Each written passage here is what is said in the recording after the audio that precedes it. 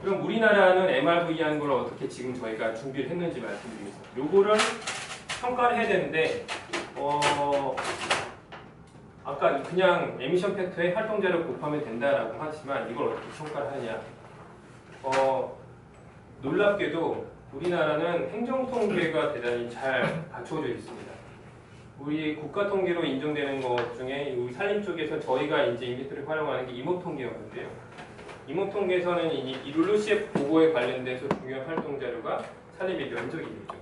그리고 요 자원량을 평가하는 인목 축적이라는 게 있어요.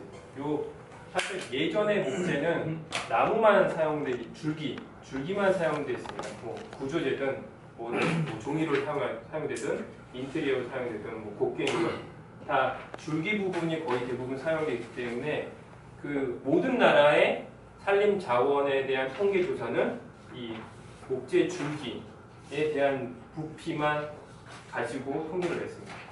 그 나라의 살, 목, 목재 줄기의 축적이 얼마나 있는가. 그런데 놀랍게도 우리는 어, 아, 놀라운 건그 다음에 좀 이따 하겠습니다. 어, 지금 이거에 대한 산림 면적과 이- 인목 축적이나 이런 것들 자원 조사를 예전에는 도별로 했습니다. 그래서 10년에 한 번이 전국 조사가 이루어졌습니다. 그래서 어, 그런데 어, 그것을 그리고 그때는 그냥 나무 수간에 대한 재정만 거의 조사를 했어요. 그냥 가슴 높이의 줄기 직경과 수 나무 높이 이런 정도만 거의 다녔는데 수종과 근데 기후변화 협약을 우리가 대응을 해야 된다라는 것들을 하면서 어, 조사 체계를 바꿨습니다. 그래서 매년 전국 단위의 조사를 하는데 오, 그 세트가 다섯 개 세트가 있어서 다섯 5년에 한 번 전국 단위에 대한 조사를 다 한다라는 것을 했고 매년 가서 한 5년에 한번 가는 거죠. 올해는 여기, 내년엔 여기, 2년, 3, 2년 뒤에, 3년 뒤에 이렇게 세트별로 저희가 하겠습니다. 그러면 그거는 전 국토를 4km마다 한번 하나씩 이렇게 포인트를 놓고 거기서 지금 이 중앙 포인트에 대해서 세 개의 subplot을 두고 조사를 다 합니다. 그리고 말씀드린 것처럼 뭐 지상부에 대한 거 조사를 다 하고 그다음에 고사목 낙엽 이런 것들을 다 조사하는 체계로 다 바꿨습니다.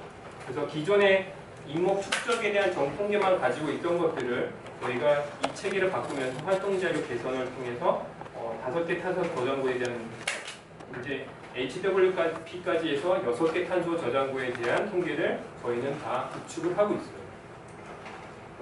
그래서 놀랍게도 놀랍게도 우리나라는 1934년부터 이 통계가 있습니다. 공식적으로 산림청에서 발행하는 통계로. 그래서 이, 뭐 이제 거의 한국전쟁 하고 이럴 때가 좀 이제 좀 10년간의 빈 공백이 있는데 어, 행정 통계가 지금 이 행정 통계가 맞던지 틀리던지는 지금 알 수가 없습니다. 중요한 거는 이러한 통계를 가지고 있다는 것이죠. 그래서 우리는 이 그, 그 역사적인 통계를 기반으로 인벤토리를 산정할 수 있는 좋은 자료가 있는 거예요. 근데 불행하게도 뭐 많은 개도국들은 이러한 자료가 없습니다. 행정통계고 5년 선진국들도 5년에 한 번씩 발표하는 데가 대부분입니다.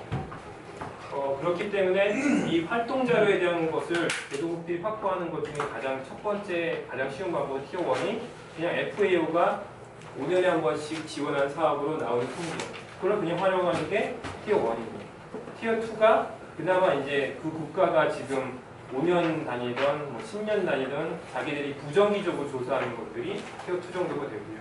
tier 3로 많은 개도국들이 지원받아 사고 있는 게 영상 분석을 통한 이런 토지 이용 변화 그리고 축적량에 대한 것들을 어, 매칭시키는 자료를 활용하고 있습니다. 지금 그래서 최근에는 많은 국가들이 어, 개도국들이 선진국 도움을 받아서 영상 분석, 위성 영상 분석을 통한 활동 자료를 취득해서 그걸로 인벤토리를 보고를 하고 있습니다. 그래서 어, 활동 자료에 대한 것들은 그렇게 어, 취득을 한다라는 것과 어떤 개선 노력을 하고 있다라는 것을 말씀드릴 수가 있겠습니다.